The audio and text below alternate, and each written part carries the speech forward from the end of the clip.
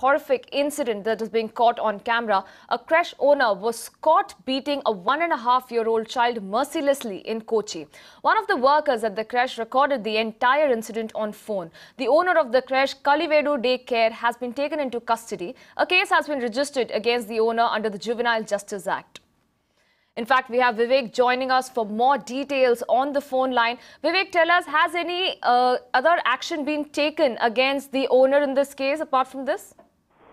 Uh, yeah, yes, uh, he's been arrested, and uh, the, the lady, Mini, 49-year-old uh, owner of this particular Kalividu uh, daycare center, has been taken into custody. She's uh, various cases of cases of child abuse has been charged against her. And uh, yes, uh, uh, after this incident took place yesterday till evening, there were raids conducted at different uh, childcare centers across Kochi.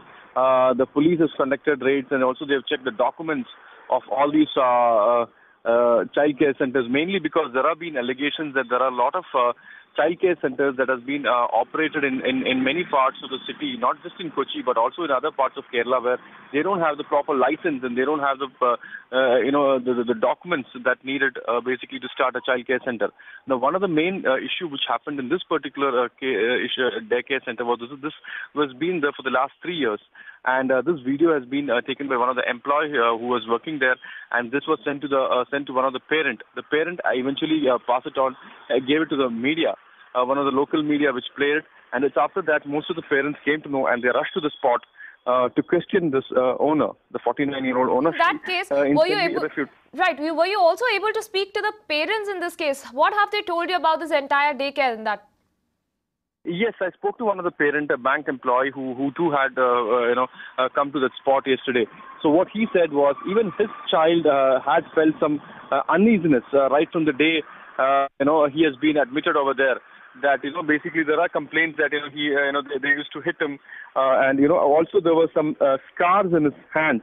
There were some scars in his hands also, and also during night uh, the child used to wake up and all those things. So yes, there was some uneasiness of, uh, that has been felt amongst at least some of the students in this daycare center.